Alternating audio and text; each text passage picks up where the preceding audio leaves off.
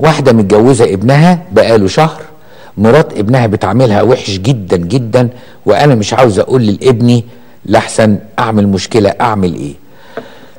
أول حاجة هو أنتوا قاعدين في شقة واحد ولا بيت واحد ولا بعاد عن بعض؟ طبعا لو أنتوا في شقة واحدة المشكلة تبقى مشكلة كبيرة فعلا.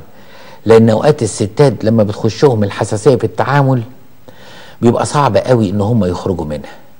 وعلشان كده بقول لحضرتك إن لازم تكوني معرفان الأول. يعني أنتوا بتقابليها كل قد إيه وبتتعاملوا كل قد إيه.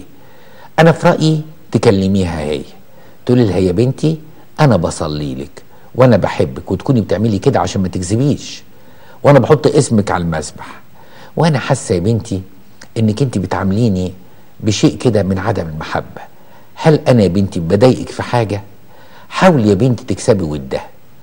ولو الموضوع استمر كده يبقى في اختصار في التعامل.